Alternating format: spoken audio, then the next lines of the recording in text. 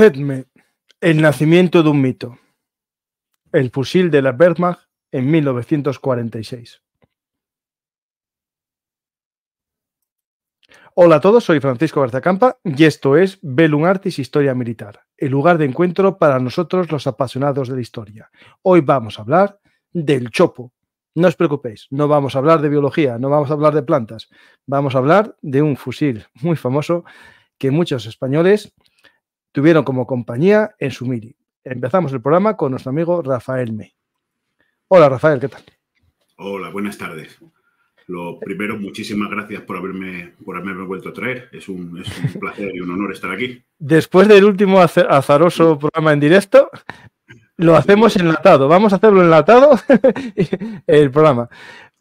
¿Por qué? Porque este tema que vamos a tratar que es de tecnología, ingeniería militar, al tener armas, eh, la IA pues, lo reconoce como un peligro en directo. Por tanto, lo vamos a, grabar y no vais a poder comentar en directo, pero sí en los comentarios. Pues vamos a hablar, eh, Rafael, de un arma mítica, ¿no? El chopo, ¿no? Sí, del, del CEMME, el, el fusil, hecho, el fusil de asalto que, que es muy familiar a, varias generaciones de españoles que hicieron la mili con él. Famoso, ha salido en películas, se ha exportado.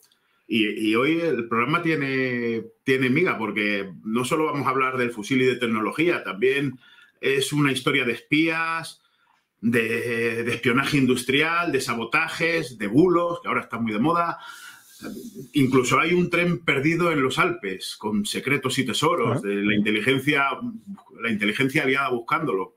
Es eh, eh, captación de agentes en, el extranjero. Es, es, un programa bastante, bastante interesante. Ah, pues vamos a empezar, que esa parte no, la conozco. Y el título del programa eh, llama la atención, ¿no? Su título que es El fusil de la Wehrmacht en 1946. Claro, aquí vamos a ver de dónde viene la idea del Zetme, ¿no? De, este, este, chopo, que a lo mejor no era una idea 100% española, ¿no? Mm, bueno, me cargo ya el misterio. Eh, no era española, es un, es, una, es un diseño que dio vueltas por por, por, Bélgica, por, por, Francia, por Gran Bretaña, por Estados Unidos. Y, pero, pero donde salió fue aquí en España. En el resto de países no fueron capaces de, de, materializarlo. O sea que es, es eh, tiene, tiene orígenes alemanes, pero, pero, pero nació aquí en España. Por algo sería. Eh, si me permites, empezamos, como siempre digo, no voy a empezar en Teutoburgo, pero empezamos bastante, bastante más adelante, en la Segunda Guerra Mundial. Eh, curiosamente, la Segunda Guerra Mundial la empiezan todos los países con, las armas de infantería con las que fueron a la Primera Guerra Mundial, con algún, con algún retoque, pero por ejemplo los británicos empiezan con el mismo fusil, pero fabricado incluso en la Primera Guerra Mundial. Los americanos lo mismo Mm, luego adoptan, el M1 Garand, pero, pero empezaron con fusiles de cerrojo. Los alemanes con el Kar 98, que es la evolución del, del G98. Pero ya en la Primera Guerra Mundial y en la Segunda Guerra Mundial sobre todo se dieron cuenta de que un infante necesitaba más potencia de fuego, pero mm, más potencia de fuego portátil. Entonces, lo primero que hicieron fue adoptar el cartucho que tenían los fusiles de, que, empleaban los ejércitos en, un, fusil semiautomático. Eh, si puedes poner la foto número uno, la de fusiles, fusiles semiautomáticos de la Segunda Guerra Mundial, eh, aquí se ven los tres principales fusiles que tuvieron los, los ejércitos en los que tuvieron mayor éxito. Eh, del Garan se fabricaron 4 eh, millones, más de 4 millones. Del SVT se fabricaron 2 millones y medio. Y el último de abajo, que es el, el G43, se fabricaron unos 460.000. Que si a eso le sumamos, que no está aquí porque fue minoritario, el G41, que era un, un diseño anterior, los alemanes llegaron a fabricar unos 500, 600 mil fusiles semiautomáticos.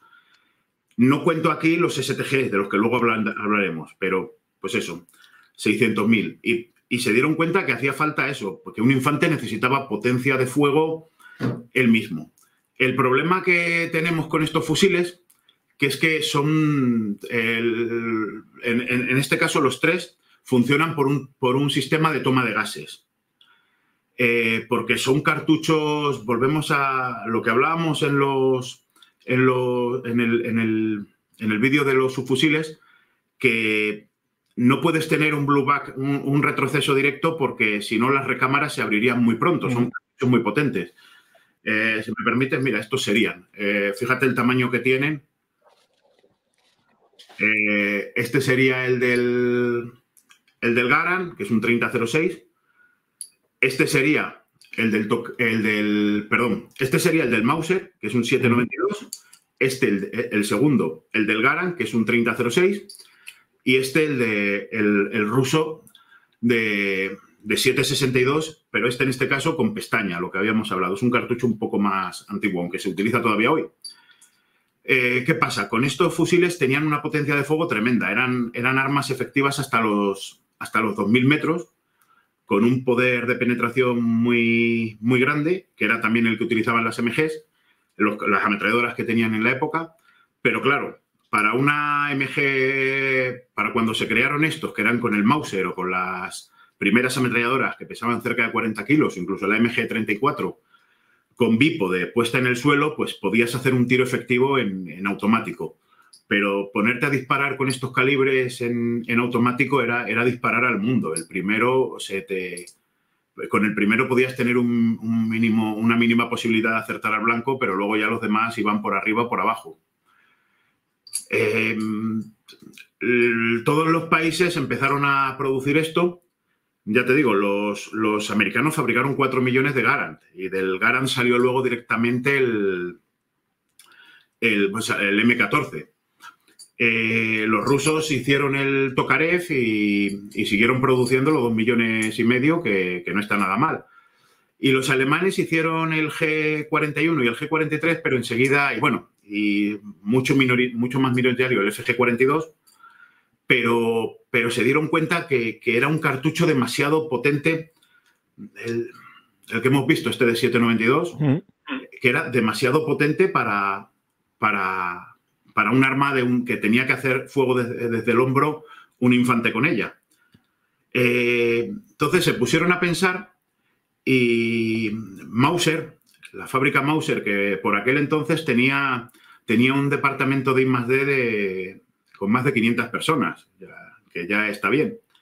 Se pusieron a, pensar y sacaron el primer cartucho intermedio, que es este, el 792 x 33 Kurt, ¿vale? Si lo comparamos con el 792 normal, se ve la diferencia. Sí, sí. Bueno, el 792 x 33 se adaptó a, muchas armas.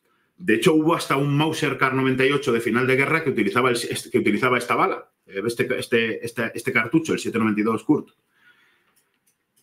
Pero fue con el, con el STG-44, empezamos con los MKB porque fueron variando, la producción de rifles de asalto por diferentes cuestiones fue variando en, durante la Segunda Guerra Mundial.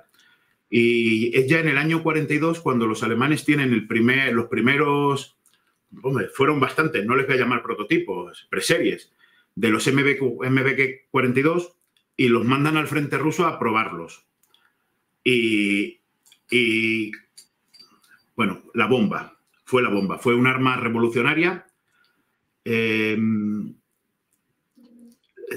consiguieron eliminar el, número de MGs que había por pelotón se, redujo mucho y en las pruebas se, demostró que, era un arma mm, extraordinaria y revolucionaria. El único problema que tenían es que no habían podido que si bien habían podido producir un número adecuado de, fusiles de asalto, como les llamarán más adelante, para probarlos, no habían conseguido producir suficiente munición.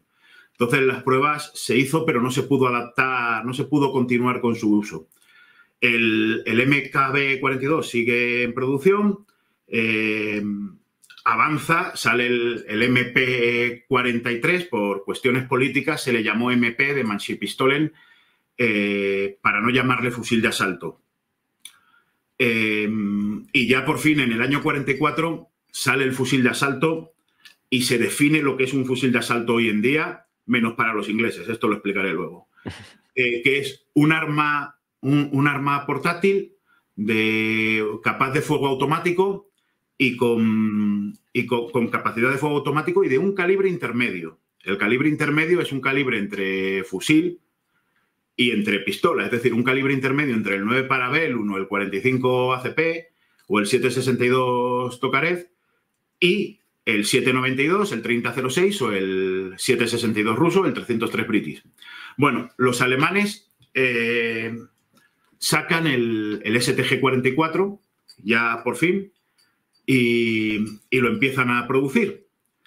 Y la guerra sigue, el STG-44 es un arma revolucionaria, el único problema que tenía eran los problemas típicos de mantenimiento. Es un arma que funciona por, por retroceso de masas y, perdón, por retroceso de masas, no, discúlpame, por toma de gases y, fue, fue, revolucionaria. Tanto es así eh, que los rusos cuando lo capturan se dedican a, a copiarlo. Ahí hay un poco de... Hay un poco de, de controversia, pero si ponen la foto de STG AK-47, la 1, hay tanta controversia que en una estatua a favor de Kalashnikov se confundieron en los planos. Sí, pero no te preocupes que el, que la hizo lo pudo corregir desde Siberia. Sí, sí. Bueno, aquí se ven, el, de abajo es un M, estas son unas fotos que encontré en internet que son, yo creo que están libres, no creo que tengamos problema. Eh, el, de abajo es el, MP44 STG44 y el de arriba es un AK perdón, eh, yo creo que es una KM, eh, pero para lo que nos vale, para lo que queremos nos vale. Eh, que el AKM es un, AK-47 modernizado. Bueno, visualmente, mm, hombre, se parecen, yo creo que se parecen bastante. si me permites, luego los rusos sacaron, este es el 762 Kurt que hemos visto, y este es el, 790, el 762 por 39 del Kalashnikov. Eh, digan lo que digan, hombre, se siguen pareciendo, ¿vale? No tienen unos comportamientos muy similares y, son, se parecen. Se parecen. Yo me gustaría saber si, si, los rusos y los soviéticos hubieran sido, hubieran hecho este cartucho sin tener este antes de muestra. Bueno, si los dos funcionan por retroceso de por gases, si podemos poner la foto número 3, que eh, se ve que, bueno, que, cuando, si por fuera se parecen, cuando los abres por dentro, mm, se, parecen, se parecen todavía más.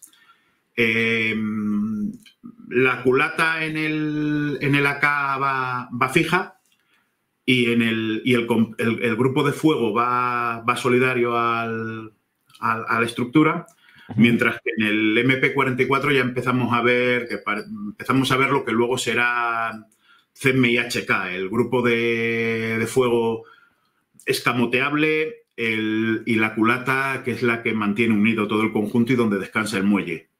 Pero lo, lo, importante, el, si pones la foto número 3, por favor. La, perdón, la 4, la siguiente.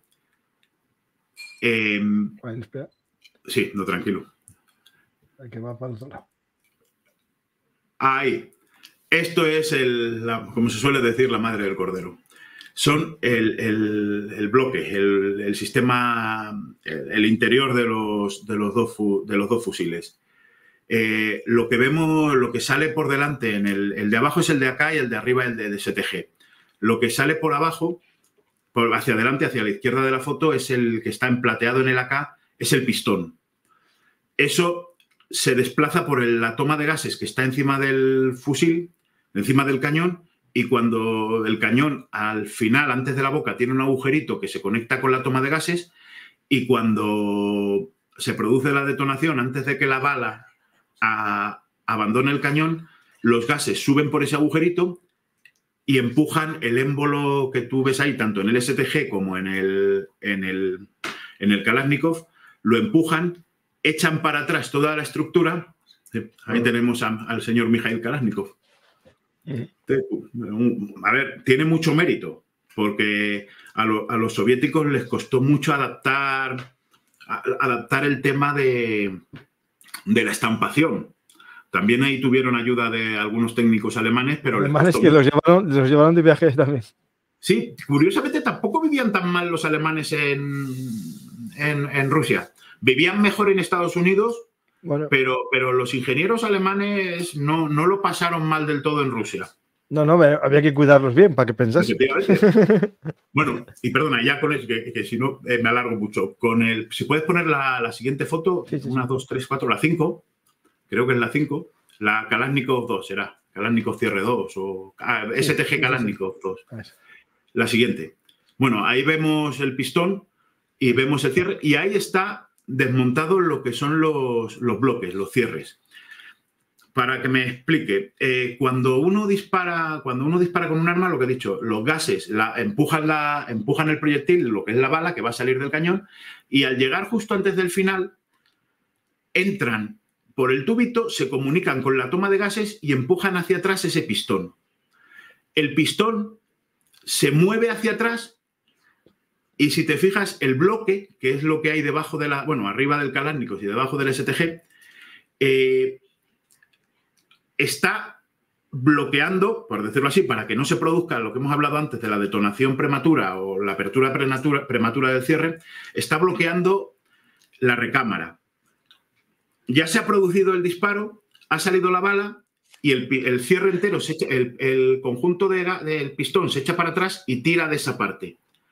De tal manera que se desbloquea el cierre y ya entra en acción el, sistema, eh, se produce la recarga. Bueno, pues este es el Kalashnikov y el STG. Eh, yo personalmente creo que el Kalashnikov y su calibre son, son ni hijos, hermanos directos del, STG-44. No, no tienen, no, ¿vale? Pues el STG, el Kalashnikov, el STG la culata y el, grupo de fuero, pero el, el, Kalashnikov y el STG, el FAL, el GAR, no tienen nada que ver con el CEDME. En, 1945, el STG ya los alemanes se habían dado cuenta de que era mm, caro de producir y que, que, le faltaba, que era todavía un paso intermedio, que, todavía había algo más allá en el fusil de asalto. Fusil de asalto que, repito, está ya definido.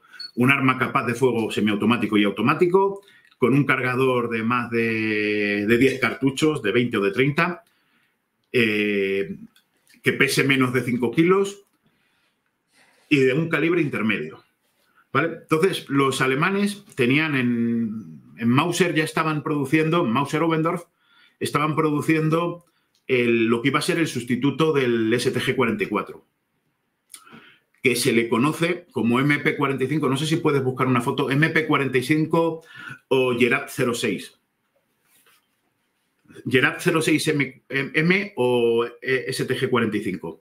Bueno, estaban produciéndolo, pero se les presenta un problema, que hablamos del año 45, de febrero-marzo, que están los ejércitos aliados, están entrando en Alemania. puertas. No, no, pero, pero llamando. Entonces, em, en, un, en un plan de estos estrambóticos, dice, bueno, ¿esto cómo se va a solucionar? Porque vamos a tener armas mágicas y milagrosas, de momento, como nos están bombardeando, eh, ahí está.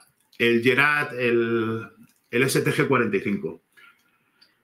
Eh, se produjeron de este fusil en, mayo de 1945.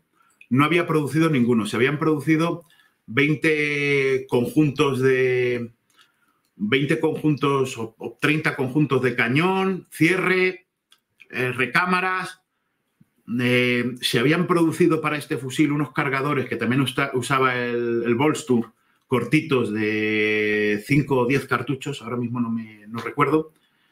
Y, bueno, el cargador no era problema porque era el cargador de el cargador del STG 44, que de hecho el nombre de, de STG-45 eh, se le llama porque apareció una partida de cargadores de STG-44 marcados como STG-45, pero porque fue un error de la fábrica. Porque cuando empezó el año 45, la fábrica, como le habían llamado a los cargadores por, temas, por los temas políticos, les habían llamado primero MP44, antes MP43, luego STG-44, dice, pues ahora le ponemos STG-45, que es lo normal. Y enseguida llamaron del, del ministerio diciendo, oye, tío, que no, que que os estáis confundiendo, que la estáis, que no es lo suyo, que, esto es el del STG44. Ah, y se corrigió la, producción. Son unos cargadores muy buscados ahora. Pues em, están los aliados a puntito de llegar y, y no, pero esos no son MP45. No, no, bueno, no, por, por una foto, sí, estos son eh, bueno, 44, Pues, y ahora empieza la parte de espías.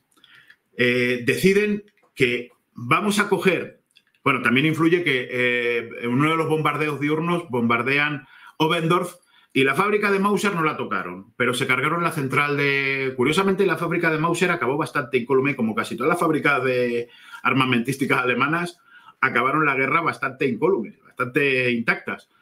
Pero le atinaron a la... Esto es como lo de la fábrica del pegamento sintético de los, de los Focke-Wulf 154 que la fábrica no la tocan, pero tocan la pequeña factoría que, produce el pegamento, la resina que pega la madera y tienen que... Sí, ese es un, un STG-45. Sí. Bueno, pues le pegan a la central de eléctrica que suministra Obendorf de, electricidad y entre otras cosas se quedan sin, sin calefacción. No digo que fuera la causa, pero, pero bueno, parece ser que el invierno, ponerse el, departamento de I+D de trabajar sin calefacción no lo acaba de llevar bien. Y se da la orden de que todo el departamento de I+D se trasladase a los Alpes, a una parte entre Austria, cercana a la frontera con Italia, que era una... claro, el, muro alpino, ¿no? Que van a hacer ahí la gran defensa final, sí y que tenían cuevas donde podían poner la producción. De hecho, algunos ministerios y algunas fábricas ya se habían ido para allá. Bueno, pues meten todo el material en un tren que, bueno, fue una ahí empiezan ya las aventuras. Eh, Obendorf era un pueblo pequeñito y tenía una... Lo, importante de Obendorf es la fábrica de, de armas de Mauser. Bueno, pues tenía un ramal de ferrocarril pequeñito que no estaba comunicado para ir a los Alpes Total, que tienen que dedicarse a buscar, a buscar camiones, lo meten todo en camiones. Estoy unos entre 100 y 300 técnicos, porque se habla de 100 ingenieros y luego 250 más. O sea, no está claro quién se fue al principio. De hecho, muchos llenaron tanto los camiones que hasta que pudieron, porque todo era transportar el material hasta una estación de ferrocarril que sí que estaba conectada con los Alpes, pero llenaron tanto los camiones que el personal no cabía, así que los técnicos se tuvieron que ir en bicicleta a ciento y pico kilómetros. O sea, los alemanes organizan esto, los, se, se, van en camiones los materiales y se van los técnicos. Se les dice, llevaros solo lo importante, lo que sea importante para el esfuerzo de guerra, los proyectos interesantes. Y se llevan todos los proyectos, pues eso, de próximos fusiles de asalto, se llevan todos los proyectos que tenía la Luftwaffe de cañones, que estaban haciendo unos, unos proyectos para el MEC, unos diseños para el MEC 262 de cañones de 50 milímetros con balas asistidas por cohete, extraordinarias. se llevan todo lo interesante. Y se dejan, entre otras cosas, el tema de, de, los, de los, rifles del 22, de los fusiles del 22, que estaban también experimentando. Esto lo retomaremos luego. Bueno, se van, creo que es la noche, perdóname que no quiero meter, del 19 al 20 de abril, el tren eh, se va a los Alpes austriacos. Eh, es un viaje de aventura. Los bombardean, los ametrallan, les destruyen la locomotora, tienen que buscar otra locomotora. Y total, que llegan a los Alpes austriacos en abril. Eh, la locomotora que los lleva se tiene que ir, la, de repuesto, porque fue la segunda o tercera locomotora que si alguien puede que busque información del tren de Mauser en internet, que es muy graciosa, porque es, eso, es un tren. Estoy buscando yo, me encuentro, tren Mauser de Mauser, porque no, siempre se ha hablado mucho del tren del oro, pero para, mucha gente era más interesante el tren este de Mauser que, que, el tren del oro. Y la pena fue que lo cazaron unos Thunderbolt unos P-47 lo cazaron en el transporte ese, el Mauser Train. Eh, lo cazaron y se perdió, por ejemplo, un problema que hubo, creo recordar, que es que el, cañón este del que he hablado, del, 50 milímetros para Luftwaffe, llevaba la munición, llevaban la munición que era asistida por cohete y le dieron al vagón del cañón y la munición y estuvo ardiendo un día. Bueno, pues el tren llega a Austria y uno de los, el directivo, uno de los directores de Mauser tenía, el, tenía una radio y, escuchan lo de que, Berlín ha caído, que, se ha suicidado quien se tenía que suicidar, vamos, que no queda nadie, que, Alemania ya no está en la guerra. Bueno, pues ¿qué hacemos? Pues aquí nos quedamos. Y se quedaron ahí, primero llegaron a, acuerdos, a trapicheos con la gente del pueblo que les cambiaba comida y les daba comida, y luego debían haber salvado, aparte de los de los prototipos de Mauser, debían haber salvado bastante vino. Y cuando llegan los americanos, que esa, esa parte la ocupan los americanos, eh, ven a los ingenieros de Mauser, mm, es una empresa civil, no son, no son militares y no les hacen mayor caso hasta tal punto que empiezan a intercambiar raciones de combate por, por vino. Pero mira tú por dónde, de repente, eh, en junio, es decir, ya, ya ha pasado tiempo, en junio del año 45, que sigue, el tren por ahí guardado y los, y los ingenieros ahí, mm, alguien de los servicios de inteligencia se da cuenta de lo que es y de un día a otro le ponen, le ponen custodia militar al tren, eh, detienen a todos los ingenieros y se los llevan para interrogarlos. Embalan todo lo que hay del tren y se envía a, y se envía, y se envía a Inglaterra y a Estados Unidos. Eh, por lo visto, el transporte fue demencial. De todo lo que se mandó, llegó, mm, llegó una décima parte. Se perdieron muchas cosas, se perdieron los famosos kits estos que te he dicho del, del STG-45, del Gerard 06. Mm, se salvaron algunos, otros se perdieron, luego seguirán apareciendo en manos privadas. Bueno, hasta ahí lo de Mauser, ¿vale? Eh, varios kits de estos de Mauser acabaron en, en, Bélgica. Y mientras tanto, eh, justo según acaba la guerra, la fábrica de Obendorf cae en la zona de, de ocupación francesa. Los franceses ocupan la fábrica y no les costó mucho, se la ponen en producción. Pero cuando la ponen en producción se dan cuenta y dicen, qué raro, que aquí lo único que tenemos es lo del calibre 22. De hecho, los franceses empezaron a producir muchos Mauser del calibre 22 en este tiempo. Dice, qué raro, qué raro, qué raro, ¿dónde, está, ¿dónde estará lo interesante? ¿Dónde estará lo interesante? Pues lo interesante estaba todo en el tren. Y tanto es así que los franceses en el año 47 desmontan la, fábrica de Mauser, pero que no debieron dejar ni el suelo, y la trasladan directamente a un pueblo en el norte de Francia, cercano a, Suiza, que se llama eh, Mulhouse. Seguro que lo he dicho mal, me vais a tener que disculpar. Sí, Mulhouse me suena, sí. O Mulhouse. Sí, sí, sí, pero, sí, efectivamente, sí, está mal dicho.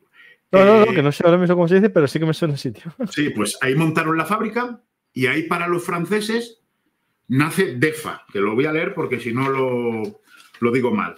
DEFA, muy famosa luego porque, vamos, hasta hace no mucho nuestros, nuestros aviones llevaban cañones DEFA. La Dirección de Testudes eh, de Fabricación de Armamento. Eh, pues DEFA empezó produciendo directamente los cañones Mauser de los Messerschmitt que los adaptaron a los aviones de posguerra franceses y, europeos. Y ahí en, Y ahora ya empezamos lo interesante.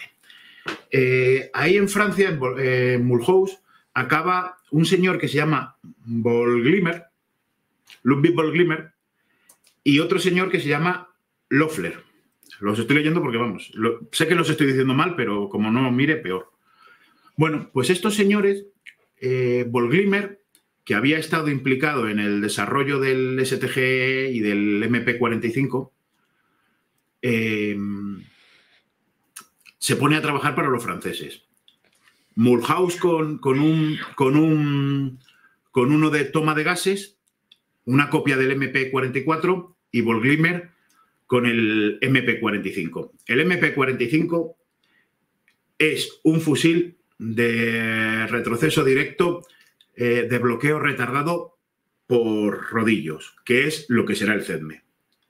Es decir, eh, de hecho, esto es el, el, cierre de un CEDME y si tú coges el, el cierre, las piezas de un STG 45 son prácticamente iguales, ¿vale? Eh, más simples y les faltaba esta parte de aquí, que es un pestillo del que luego hablaremos cuando, cuando nos toque.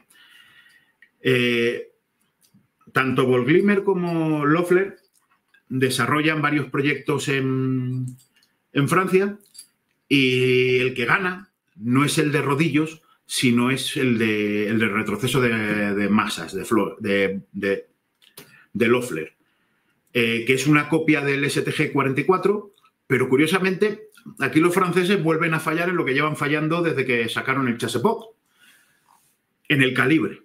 Los franceses, en vez de desarrollar un cartucho de calibre intermedio adecuado, cogen y le adaptan eh, el cartucho de la M1 Carbine, porque entonces Francia era un usuario un usuario de la, de la carabina M1 y tenía muchísima munición de la carabina M1 y, decidieron, bueno, ¿y por qué no utilizamos este cartucho que si vale para la carabina, pues funcionará para esto?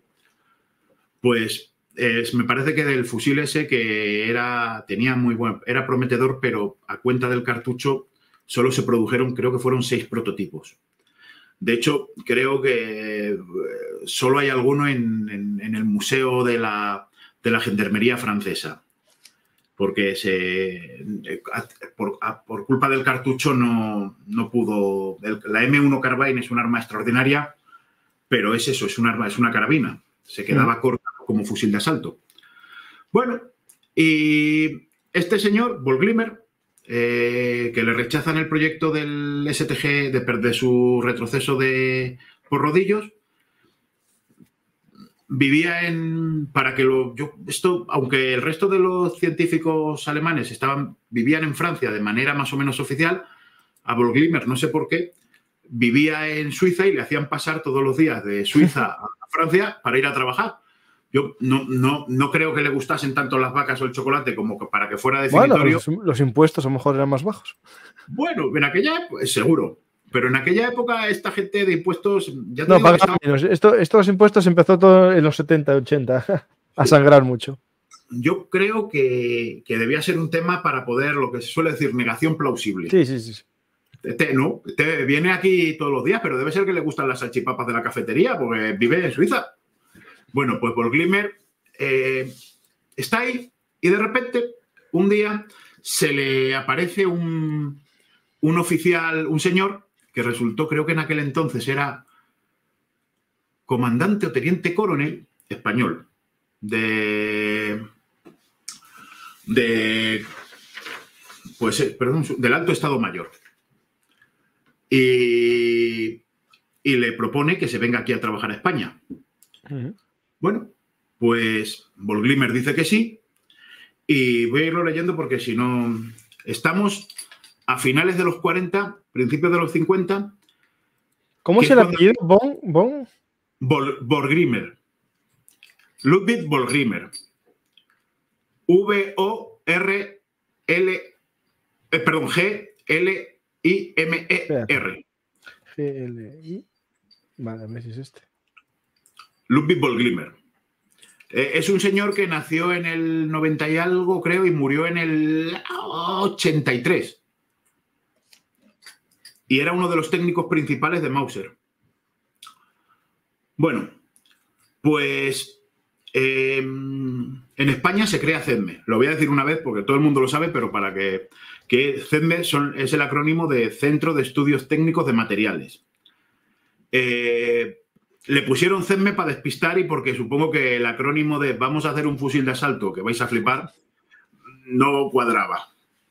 Pues eh, al principio dependía del Alto Estado Mayor Pero, y ahí está parte de la genialidad, estaba encuadrado en el INI, en el Instituto Nacional de Empresa. ¿Vale?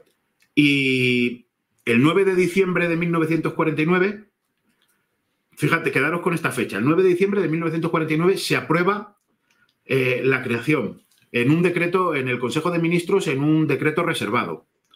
¿Vale? O sea, en el 49, finales del 49. Y de repente aparecen aquí en España cerca de 10, en torno a 10 técnicos alemanes de Mauser, todos muy involucrados, muy, muy relacionados en el, en el desarrollo, no solo del STG-44, y aquí es donde estuvo la genialidad del gobierno español, sino también en el desarrollo del cartucho del, 792 x 33 y de las pólvoras del 792 x 33. ¿Vale? Em, llegan aquí y se les empieza a dar dinero, se crean los laboratorios, también se trajo gente, ingenieros, eh, para el tema de, de la chapa plegada, para, para la producción de armas. Y bueno, no nos creamos que esto es algo que se hizo solo, que fue solo CEDME. Eh, Messerschmitt estuvo trabajando en el desarrollo de aviones, eh, todos los de CarSafe acabaron en lo que eran los talleres de precisión para los visores. O sea, y estos señores, no, nos confundamos, estos señores no, no, venía solo el señor, venía con, sus papeles y, y sus muestras. Entonces, vinieron aquí Ojo, cuando te digo lo de que fueron a buscarle a, Suiza, no fueron en una furgoneta y se lo trajeron en el maletero. Todos ellos vinieron por sus, por sus medios. Em, aquí también aparece que el que acabaría, el general Wilhelmi, que, fue, vamos, el, uno de los cerebros españoles que, que estuvieron involucrados en esto. Bueno, pues con todos estos se ponen a trabajar empiezan a, trabajar, por un lado, CEDME en dos proyectos, que es el fusil número uno y el fusil número dos, que son el fusil número uno estaba, era un equipo dirigido por el doctor Menekin, bueno, perdón, no sé si es doctor, por Menekin, que era una copia, de, era una evolución del STG-44 por gases. Y el fusil número dos, que era mm, una, el, STG-45, la evolución del STG-45, retroceso por, por bloqueo semirrígido por, por rodillos, por, bloqueo retardado por rodillos. Perdón, eh, no confundir esto del, luego lo, veremos más claro cuando veamos el cierre, pero el bloqueo de rodillos no es lo mismo que el, el bloqueo, el semirrígido de rodillos no es lo mismo que el, que el bloqueo por rodillos de la MG. Tienen un aire, pero son sistemas diferentes, ¿vale? Eh, de la MG podemos hablar otro día largo y tendido que da para varios programas. bueno, pues el señor... Eh, también está por aquí, están los equipos de Menekin con los gases, de, de Volglimmer con los rodillos, y también había un, militar español que estaba trabajando en la fábrica de armas de La Coruña que hizo unos, unos diseños extraordinarios, muy interesantes, que era Calzada Bayo. Además, este era un ingeniero prolífico, era un genio, porque además este no se centró en uno. A este le decían que tenía que hacer una toma de gases similar a la del Garan y hizo un prototipo en esa línea. Le dijeron que tenía que hacer algo como el STG e hizo algo como el STG. Mm, el problema que tuvo es que siempre hizo, diseños eh, eh, inspirados o compatibles con las piezas del mosquetón Mauser, que él estaba en la fábrica de armas de La Coruña, y eso le, limitaba, le limitó ciertamente. Además, en mi opinión, no tuvo, no tuvo nunca ninguna posibilidad porque la fábrica de armas de La Coruña y, Calzada Bayo no le costaban dinero al Estado, mientras que el Estado sí que invirtió mucho dinero en CEDME y tenía que, tenía que rentabilizarlo. Entonces, los, los, diseños de Calzada Bayo son muy interesantes, pero no, no llegaron, compitieron con los de con los de CEDME, pero, pero no, tuvieron, no tuvieron posibilidad por cuestiones económicas o políticas. Bueno, eh, se está la idea, bueno, vienen estos con el fusil de asalto, pues eso, 600 metros, 800 metros, y en España se, piensa, vamos a hacer un fusil de asalto eh, que sirva de fusil para el infante de fusil ametrallador, como puede ser el FAO o el VAR o la BREN, y de ametralladora. Entonces ya no me vale con que sea efectivo a 600 metros. Necesito que me sea efectivo a 1000 metros, que mida menos de un metro y que pese menos de 4 kilos, con un cargador de 30 cartuchos. Eso, eh, cuando se le presenta la petición a CEDME, lo primero que dicen es que es imposible. Se ponen a pensar y ahora es donde nos separamos ya de, por ejemplo, de los diseños franceses. En España están con los prototipos 1 y 2, el de toma de gases y el tal, pero se dan cuenta de que necesitan una munición nueva. Aquí se está trabajando todo. Se hicieron varios prototipos con el 792 x 33 Kurt, pero aparece otro personaje muy interesante que es el. perdóname, que ahora no me, no me sale el nombre. El doctor Voss, V-O-S-S. También alemán, venía de Mauser. Y este señor se pone a pensar y saca esto el 792 por 40. La bala que el proyectil que emplearían los primeros CEDMES y los, prototipos de CEDME. Un proyectil de 792, fíjate, comparado por ejemplo con el 3006, fíjate la diferencia de tamaño. Aquí lo tenemos comparado con el, con el ruso, mm, es equivalente al ruso, o sea, es un arma, es un cartucho intermedio. Todo de, esta parte superior es la bala y está, es un proyectil de aluminio con una envuelta de cobre, ¿vale? Que es lo interesante. Este proyectil eh, resulta que es efectivo, está actualizado hasta los mil metros. Tiene una capacidad de, proyección eh, efectiva hasta los mil metros con capacidad de perforación y sobre todo te permite, tiene una, tiene, te permite, tiene poca potencia en comparación con los otros y te permite hacer fuego automático, automático controlable.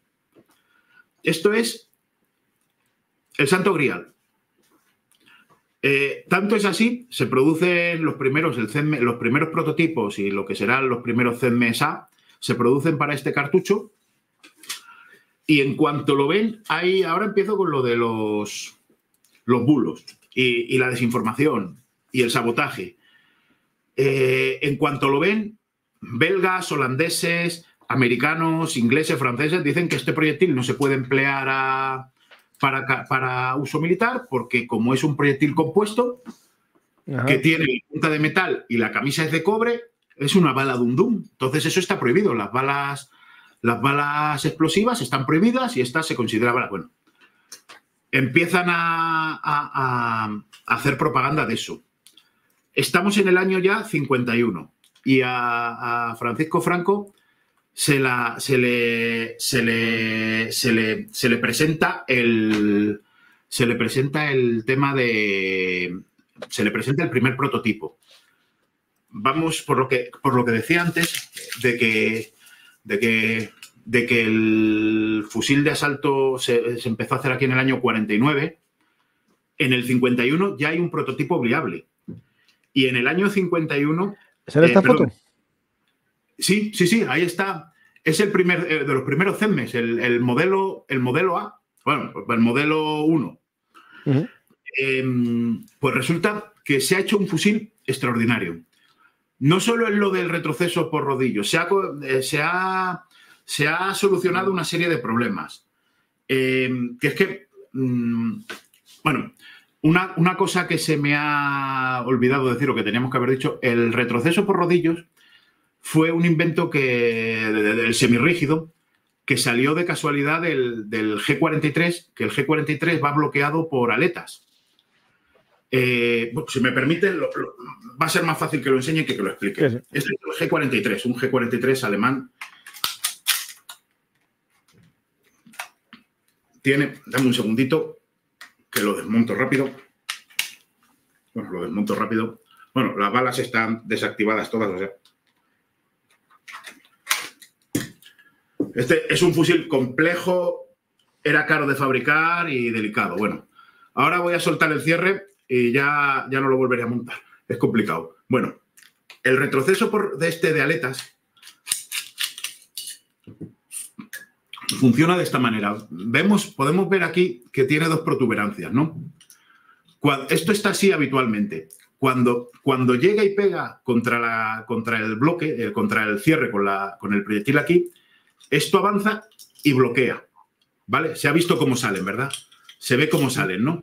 Vale. Bueno, pues así está bloqueado. Se dispara y la vaina, ya digo, las balas están todas inutilizadas. ¿no? La vaina, cuando se dispara, el proyectil sale para adelante y el casquillo empuja para atrás. Pero como está bloqueado por las aletas, no puede abrirse. No es hasta que la bala llega al final del cañón y por la toma de gases que hemos explicado antes, la energía, los gases de la bala suben y presionan un, émbolo que lleva un vástago hasta aquí detrás, empuja esto, se, empuja, se retraen los rodillos, perdón, se retraen, se retraen las aletas, clac, y ya la vaina puede hacer fuerza y empujar detrás. Esto, tenía un, esto se funcionaba, era caro, era complicado, y, un problema que tenía es que a veces eh, se podía producir en fuego automático eh, eh, detonaciones prematuras.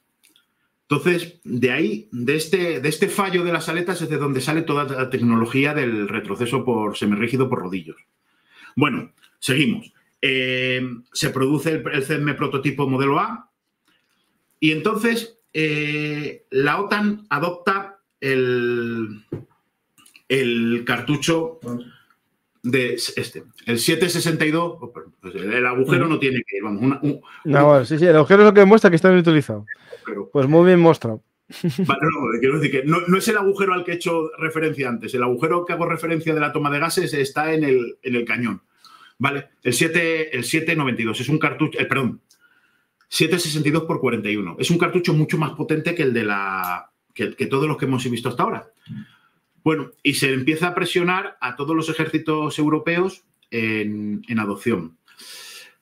A España, que en aquel momento estaba fuera de determinadas cosas, no le debería haber importado. Pero resulta que el proyecto CEDME, que si bien estaba hecho aquí en España, eh, ya en los años 40, finales de los 40, los norteamericanos se dan cuenta de que van a necesitar de nuevo al ejército alemán porque está la amenaza rusa.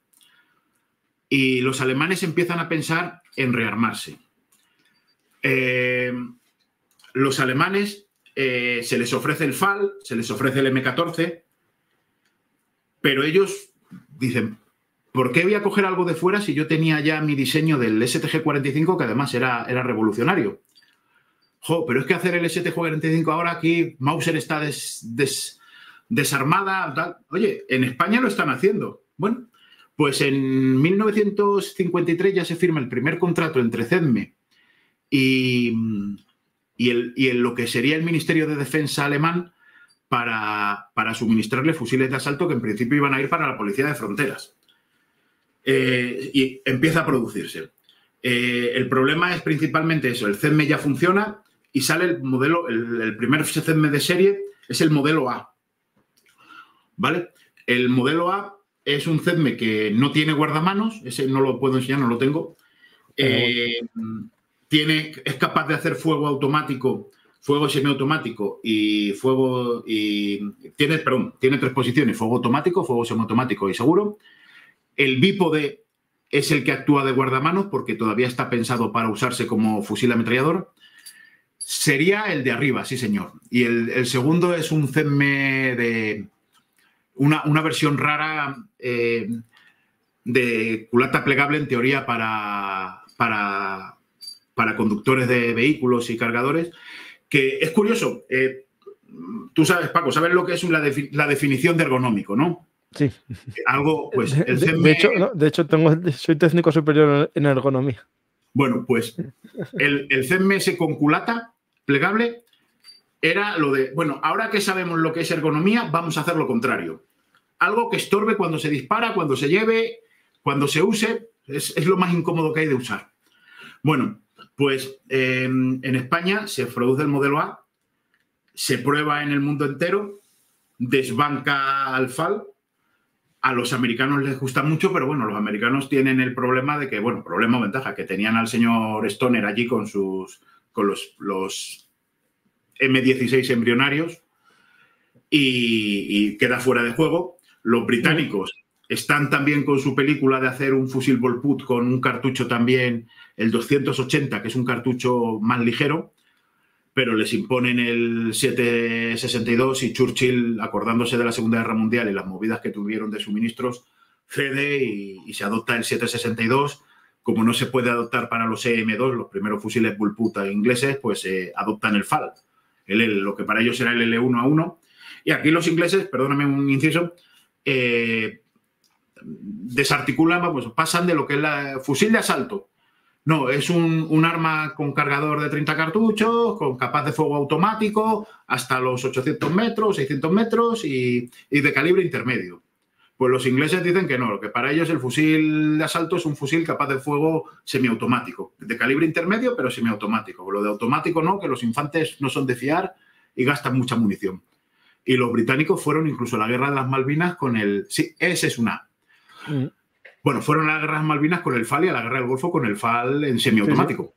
Em, ese tiene una, curiosidad, que en todos los CEDMED tiran con, Todos los que lo hayan usado saben que tiran con, con recámara cerrada, es decir, tú cuando montas haces clac, clac y cierras. En cambio, este CEDME para el CEDME modelo A, para fuego automático tiraba con recámara abierta por temas de ventilación. Bueno, el CMA se adopta minoritariamente. El CMA se adopta en 1957 el ejército de tierra, en 1958 el del aire y en el 58 también la armada. Es decir, menos de 10 años después de haberlo producido. Y bueno, y aquí lo tenemos, sale el primer CME de serie, que es el, el, B. ¿Vale? Este es un CMB, eh, se diferencia porque tiene patitas, tiene bípode incorporado, eh, tiene el guardamanos este que le pusieron de metal para no escaldarte, literalmente, porque claro, cuando hace fuego esto se calienta, esto es el cañón. Esto calienta y quema. Y, lo veremos ya en... Veremos que ya de aquí se... Tiene un alza muy similar a la del STG-44. La culata es como la del STG-44, la veremos luego, desmontaremos el otro para no irnos de tiempo. Tiene el selector de tiro de tres posiciones como, como tendría el STG-45 y, y, una cosa muy interesante que ya tiene bocacha lanzagranadas. Poniéndole la granada aquí y disparando con un cartucho de fogueo, no te hacía falta poner un adaptador ni nada. Este no lo tiene, pero aquí ya lo veremos y va donde iban los útiles de limpieza. Es un, es un, eh, la palanca de montado es plegable para, para, no estorbar y tiene asa de transporte. Este fue el primer modelo el primer modelo de verdad que se repartió. Este se fabricó en 762, pero por imposición, pero todavía teníamos problemas para adaptar el 762 por 51, que era el de la OTAN, porque era un cartucho mucho más potente para lo que se había podido, para lo que se había diseñado el CEDME. Entonces, los primeros CEDME, si tú tirabas con el 762, la vida útil del CEDME, pues no era, no era la que debería ser. Entonces, ¿qué se hizo aquí? Aquí se hizo el 762 CEDME. No confundir con el 762 OTAN. El 762 CEDME era eh, un proyectil como este, exactamente igual, pero eh, con una, bala, un proyectil de, un, proyectil de menor peso. Eh, la vaina tenía las paredes más finas y tenía una menor carga de pólvora. Eso sirvió al principio. Luego, claro, si tú vas a vender el fusil a gente de otros países, necesitas que pueda utilizar la munición de la OTAN. Entonces se hicieron una serie de modificaciones que consistió, bueno, consistió básicamente en tocar la cabeza del cierre y el, triangulito que va dentro, que es lo que produce el bloqueo de el bloqueo por aletas, ¿vale? Por, perdón, por rodillos. Bueno, y este es el CEDME que conocerá todo el mundo el CEDME modelo C. Eh, este mismo CEDME fue el que adoptaron los alemanes, porque los alemanes al final lo compraron, de hecho, los primeros, y ellos le llamaron G3, Geber 3. De hecho, los primeros, el nuestro lleva aquí todos los marcajes, bueno, esto es una versión civil en semiautomático, y tiene pequeñas diferencias con, el, con, la versión militar, pero para lo que queremos nos vale. Eh, los primeros CEMES alemanes, que es una hasta el año, creo que es hasta el año 61, no, hasta el año 61, sí, tenían grabado aquí, aparte de lo de G3, em, la palabra CEDME, porque era CEDME, era el diseño CEDME. Y Alemania pagaba a España por cada CEDME. Em, después de la guerra, Mauser se había, desapareció, pero técnicos de Mauser crearon lo que fue HK, Gecko. Y fueron los que nos colaboraron en, el desarrollo del CEDME y, empezaron a producir el G3. Eh, hubo una serie de dilaciones y de problemas porque necesita, por, por el tema de las, de las fechas y todo eso, y de los números de producción, Alemania estuvo amagando con que iba a adoptar el FAL, pero al final adoptaron el, CEDME y empezaron a producirlo ellos y se, y se, me, y se metieron en. y empezaron a producirlo. Y ahí empiezan ya las desavenencias con España, porque la idea era cuando España estaba produciendo el CEDME y desarrollándolo, pues que España iba a producirlos todos iba a ser la casa madre. Pero realmente España no tuvo capacidad de, producción ni los contactos. Y eso que hicimos cosas muy interesantes, porque aparte de todo lo que es el plegado de chapa y eso, el cañón del CEDME es, es, un, adelanto, es una novedad, porque no está. Generalmente los cañones eh, se, producen, se taladran y luego se les hace el estriado, por pasándoles, por decirlo así, machos cada vez más, cariadoras cada vez más grandes.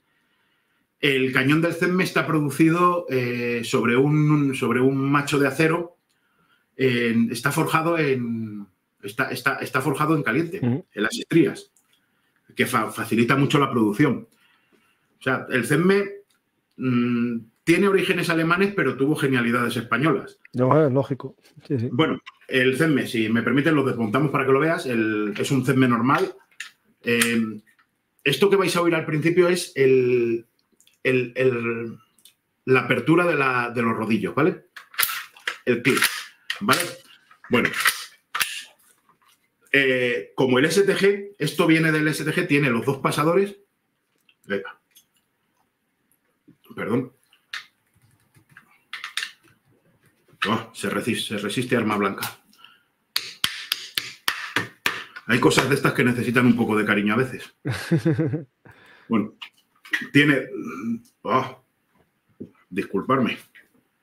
Tiene dos pasadores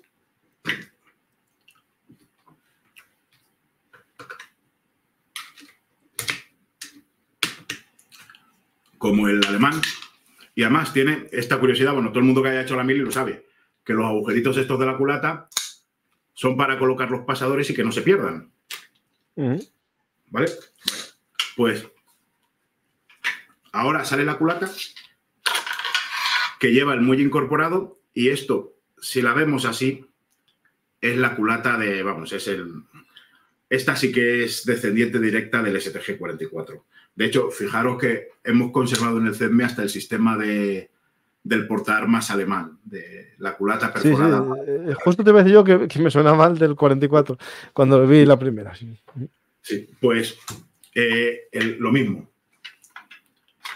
El grupo de fuego. Este la pena es que, bueno, la pena es. Este solo es capaz de fuego semiautomático, pero el, fuego, el grupo de fuego es como el del STG-44, es el HK-HK y el, el sistema de rodillos, que bueno, lo, hemos visto, este es el mismo que estábamos viendo. Eh, una cosa importante, esto es la palanca de montado, ¿vale? Que esto es la palanca de montado y esto de aquí no es toma de gases ni nada, esto de aquí es un tope para que la palanca de montado pueda empujar hacia atrás el CEDME, ¿vale? Bueno, esto aquí está abierto, ¿vale? Aquí lo tengo abierto y aquí cerrado, que es que es complicado de abrir y cerrar. Bueno, aquí está abierto también. Voy a cerrar este. ¿Vale? Esto cuando está, cuando, cuando, cuando, em, cuando empuja el proyectil y lo coloca en la recámara, se queda así, se queda así y si nos fijamos está el, el, rodillo fuera, ¿verdad? Había quitado este rodillo para poder manejarlo. Bueno, pues aquí está el rodillo fuera, ¿vale? Un poco más arriba, eh, Rafael. ¿Perdón? Ahí, ahí, que antes no se veía. Se aprecia el rodillo, ¿verdad? Pues esto es lo que encaja dentro del dentro del, de la recámara para evitar que, se produzca una detonación una, una expulsión prematura. Luego hay otra cosa, otra genialidad española, otro invento español que el, MP45 no lo tiene, que es esto, que es un pestillo para evitar los rebotes. Porque eh, es posible que si, esto no está, antes de que, es que hablamos de, décimas de segundo, eh, antes de que, de que el cierre actúe en los rodillos, ha podido detonar la bala, el proyectil, y iniciarse la acción. Entonces esto es un cierre que impide la detonación, ante, impide el rebote. ¿vale? Bueno, y esto es cuando, cuando se dispara, la vaina empieza a presionar aquí con mucha fuerza hasta que empuja lo suficiente, aquí lo vemos, que se ha separado aquí, esto, esta pieza, los rodillos, al empujar hacia adentro, han echado esta pieza para atrás y ya puede hacer la acción. Lo vamos a ver más fácil aquí. Un segundo. Este. Esto. Esto es el, el kit de la cuestión. Aquí es donde actúan los rodillos, en estas dos piezas, y si, si, nos fijamos, no tienen, no es como la MG que bloquea, los rodillos no llegan a estar bloqueados en, el, en, esta pieza, en el, en el, triangulito este, sino simplemente eh, están aquí delante y cuando accionan, cuando se echa para atrás, cuando esto bloquea, los empuja para afuera y la fuerza, la fuerza de la vaina, antes de, empezar la primera acción para abrir el cierre, es desplazar los rodillos para que esto salte para atrás. Al saltar esto para atrás, empuja todo este. No, esto es lo que está fijo. Olvida, esta parte es la que estaría fija. Entonces, esta parte, al empujar los rodillos, eyecta todo esto hacia atrás que desbloquea los rodillos y ya permite la acción entera del rifle. Bueno, pues algo tan simple como esto les costó dar vueltas. El tema de modificar los, los CMs para pasarlos de 760, que eso fue también otro logro de la industria española, para pasarlos del 792 español al 762 OTAN, fue, lo consiguieron variando la angulación de, los, de las paredes de esta pieza que parece que no, pero tiene una, tiene una ingeniería tremenda. Y bueno, pues el CEDME, esto es el CEDME, fue un rifle que adoptó mucha gente. Hubo un último intento de España para llegar a un acuerdo entre España y Alemania para hacer un modelo único que pudiera servir a, que pudiera producirse indistintamente en los dos países y venderlo. Y con el contrato de Portugal, pues eh, ganaron los alemanes que le vendieron el G3 y, se perdió. Eh, España siguió produciendo el CEME sin modificaciones, mientras que los, alemanes sí que, les, sí que le fueron haciendo modificaciones. La modificación alemana, la, diferencia principal del CEME alemán es que tiene, tiene partes de plástico eh, y tiene el, alza, esta es un alza de librillo, graduada a 100, 200, 300 y 400 metros, y, el, y la alemana era, era un alza de tambor.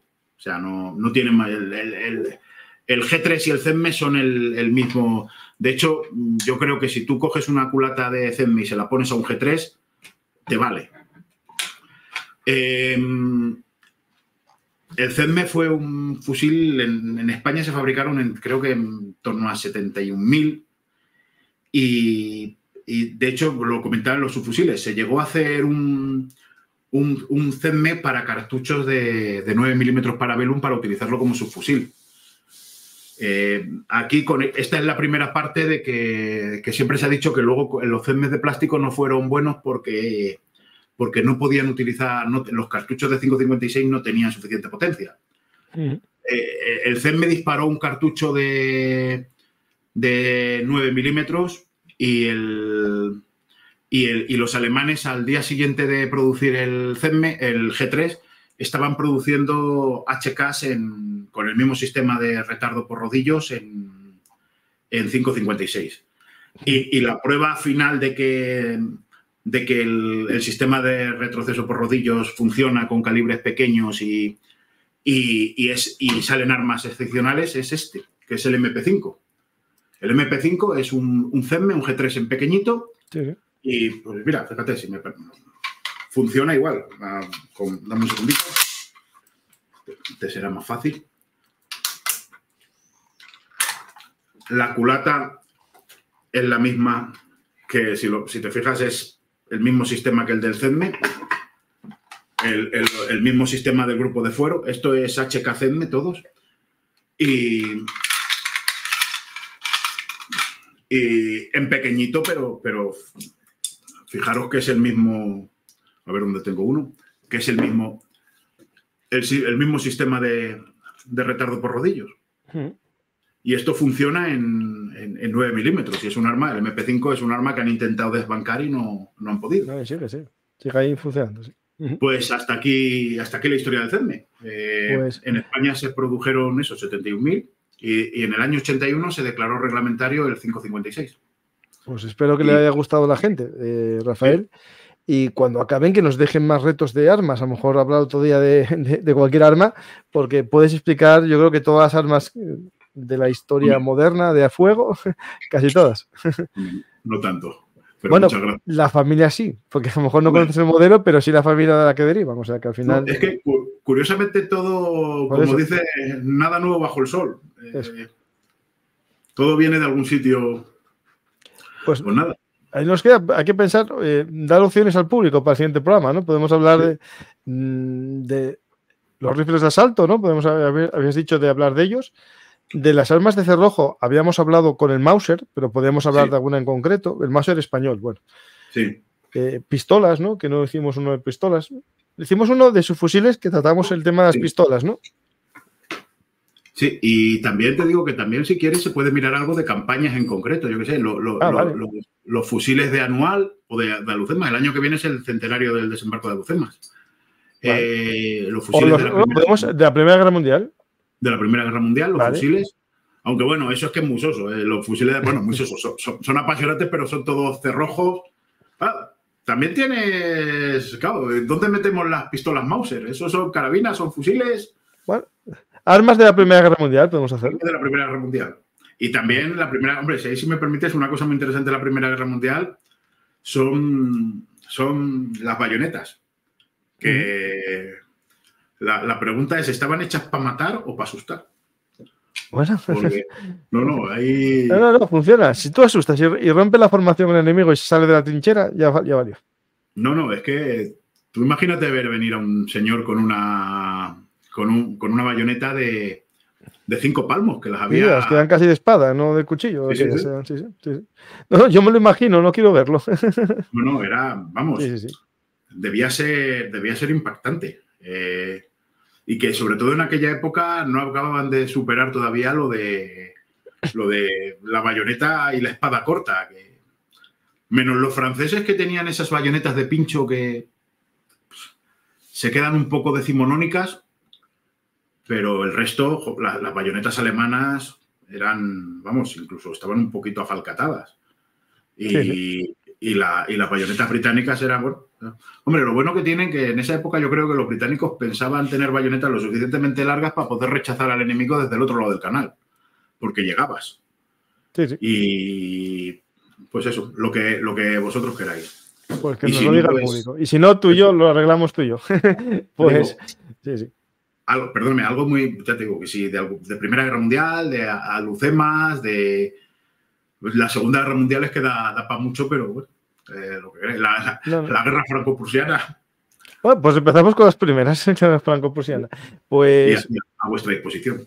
Pues Rafael, muchas gracias como siempre. Espero que a la gente le haya gustado el programa y siento no poder hacerlo en directo con el chat y todo eso por el tema de que tenemos que optar por daros eh, lo que está, el formato con las almas de verdad, que las vieses, y, o, solo fotografías. Entonces optamos por hacerlo del modo más, eh, bueno, más real, más histórico, más técnico. Y espero que os haya gustado el programa. Y, si es así, dar a me gusta, dejar un comentario, compartir. Y Rafael, si quieres despedirte de, ellos, porque seguro que va a haber mucha gente que vea el programa después. Simplemente que espero que, que les haya gustado y, y que aquí estoy a disposición de lo que quieran y muchísimas gracias a ti por, por, invitarme. Es un placer y, un privilegio. Muchas gracias. Muchas gracias eh, a ti y a todos los que son belungarteros. El otro día estuve en la Casa del Libro en Madrid, este domingo, y mucha gente se acercó, unos a comprar el libro y otros que ya tenían el libro solo a, decirme hola y, apoyar el trabajo del canal. La verdad que anima a seguir, Rafael. Conocer toda la gente que conozco gracias al canal y saber que la gente valora el trabajo mío y vuestro para intentar mostrar la historia, ¿no? Pues muchas gracias, Rafael, a ti por todos estos programas sobre historias de, la ingeniería militar, que es lo que es un arma. Al final, un arma es una muestra de la tecnología, del desarrollo industrial de los países y no solamente algo que mata gente, que es verdad que eso no se puede dejar. Pues, Rafael, muchas gracias y me despido de la gente. Ya, eh, como siempre, os pido que deis a me gusta, dejéis un comentario, compartáis en vuestro canal y sobre todo recordar que este programa no se puede ver en directo y comentar, dejar comentarios, preguntas, que iré avisando a Rafael cuando haya preguntas interesantes para que entre en el chat e intente dar respuesta. Y también saber que este programa tengo un 100% de posibilidades de que lo limiten, que lo pongan en desmonetizado. Y si queréis ayudar al canal para que sigamos contando historias, eh, aunque no tengan ninguna remuneración, e eh, seáis miembros del canal y me invitéis a un café, a una cañita, a un pincho de tortilla variado en los sistemas de micromecenazgo, en Patreon, en PayPal o en el Bizum que aparece en pantalla. Gracias a todos y hasta la próxima oportunidad.